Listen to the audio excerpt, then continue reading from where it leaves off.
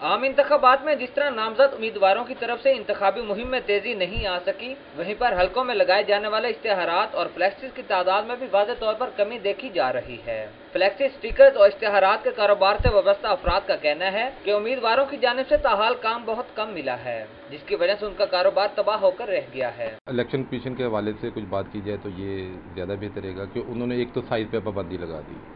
ऊपर हमारे मुल्क में बिजली का बहरान, लोड शेडिंग आप देखिए, पिछले इलेक्शन में कुछ और पोजीशन थी। इस साल पोजीशन कुछ और है।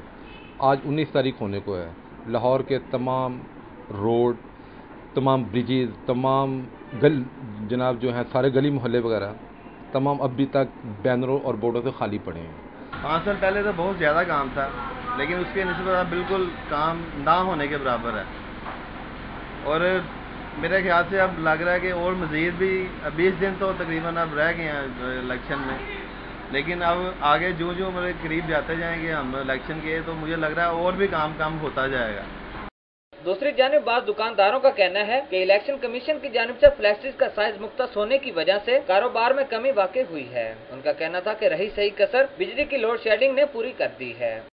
इलेक्शन का काम मार्केट में अभी तक तो है ही नहीं है। मतलब कुछ दिन रह गए हैं इलेक्शन में तो काम मतलब इलेक्शन का कोई नहीं है। अगर कोई अभी तक तो जी कोई यहाँ पे प्रिंटिंग का कोई काम नहीं अभी तक इलेक्शन के हवाले से दिन गुजरते जा रहे हैं, लेकिन अभी तक मार्केट में किसी के पास भी इलेक्शन का काम यहाँ पे अभी तक कोई अनाउंसमेंट ना हुई है, ना है अभी तक काम कर दुकानदारों ने उम्मीद ज़ाहिर की है कि उम्मीदवारों को इंतबी निशान अलॉट होने के बाद उनके कारोबार में तेज़ी आएगी। कैमरामैन कामरान खान के साथ शाहिद सिप्रा सिटी फोर्टी